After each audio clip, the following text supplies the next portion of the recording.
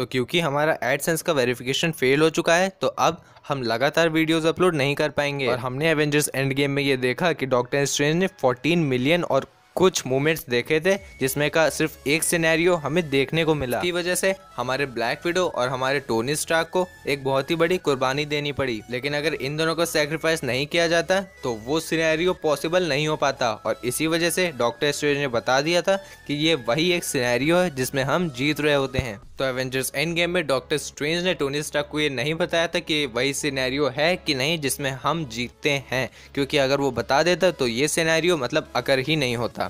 और यही हमारे एवेंजर्स एंड गेम के डायरेक्टर राइटर्स ने ये बात कही भी है। और एवेंजर्स इन्फिनिटी वॉर के प्लान में ही टोनी स्टार्क का डेड होना पहले से ही था। और इसके अलावा कोई भी चारा नहीं था जिससे थेनोस मारा जा सकता था और पूरे वर्ल्ड की 50 परसेंट की पॉपुलेशन को रिजरेक्ट किया जा सकता था। और बहुत लोग ये कह रहे थे कि मूवी में प्लॉट होल है कि टोनी स्टार्क ने स्नैप किया और वो मर गया। लेकिन मूवी में प्लॉट होल ऐसा नहीं है।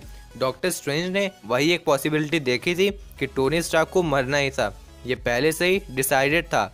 हमारी एवेंजर्स एंड गेम पे कवरेज लगातार आ रही है तो चैनल को सब्सक्राइब करना ना भूलें और आने वाली वीडियोस को देखने के लिए बेल आइकन को भी ज़रूर दबा दीजिएगा। मिलते हैं किसी ऐसे नेक्स्ट वीडियो में। Till then bye